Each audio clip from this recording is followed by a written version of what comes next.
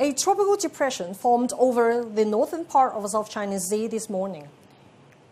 The Hong Kong Observatory issued the standby signal number one at 9.40 a.m. At 11 o'clock this morning, this tropical depression was centered at about 380 kilometers south-southwest of Hong Kong and is forecast to move northwest at about 16 kilometers per hour in the general direction of western Guangdong and Hainan Island.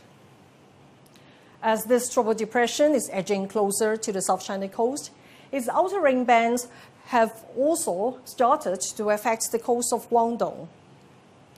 As this tropical depression is still at a distance from Hong Kong, the chance of issuing strong wind signal number three is not high today.